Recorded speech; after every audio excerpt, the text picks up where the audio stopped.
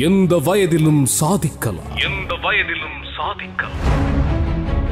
இன்றைய சாதனையாளர் Anne Frank. The diary of a young girl என்ற புகழ்பெற்ற நூலின் ஆசிரியர் இவர். ஆயிரத்தி தொள்ளாயிரத்தி நாற்பத்தி மூன்றில் இவருக்கு வயது பதிமூன்று. அப்போது அன்னி ஓர் இளம் பெண்ணின் டைரி குறிப்புகள் என்ற நூலை எழுத ஆரம்பித்தார். இரண்டாம் உலக போர் பற்றிய விவரங்கள் உள்ள அந்த புத்தகத்தை இரண்டு ஆண்டுகளில் எழுதி முடித்தார். புத்தகம் எழுதி முடித்த இரண்டாவது ஆண்டில் நாஜி முகாமில் இவர் சடலமாக கண்டெடுக்கப்பட்டார். எந்த வயதிலும் சாதிக்கலாம். எந்த வயதிலும் சாதிக்கலாம்.